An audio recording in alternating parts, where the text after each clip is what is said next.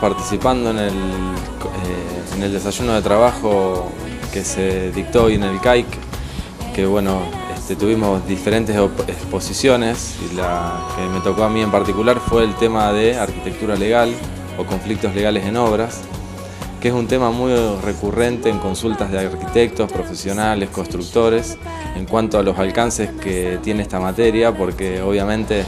hoy el tema de la construcción está alcanzado por un montón de obligaciones. Estas obligaciones parten del derecho administrativo, es decir, de la municipalidad, la provincia de Santa Fe, este, la legislación de la provincia de Santa Fe más específicamente, y a su vez tiene una importante incidencia de lo que es el derecho privado, que sería el derecho civil.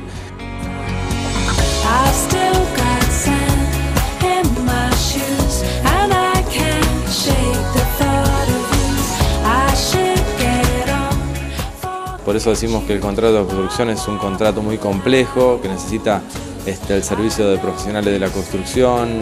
eh, las constructoras en sí, y hoy la, industria está muy avanzada y esto genera un montón de conflictos legales por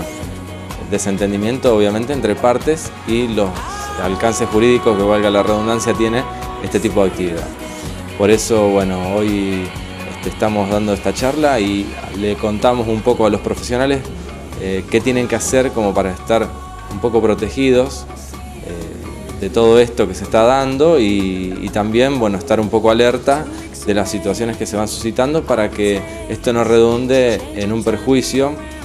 que obrando de buena fe ellos generalmente, ¿no es cierto?, este, se ven este, ofuscados o, o en problemas muchas veces por conflictos que son un rebote o un problema colateral de los contratos de producción de hoy día.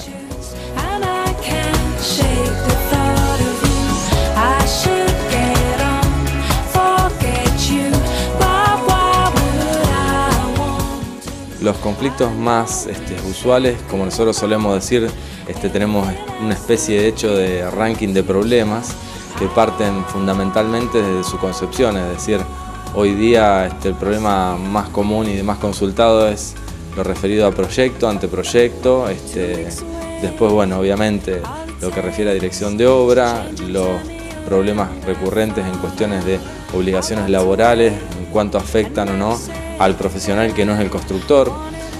Y bueno, la constructora también como este, el alcance que tiene la constructora en la incidencia a los problemas que le puede generar este, al profesional, porque obviamente la constructora está realizando un trabajo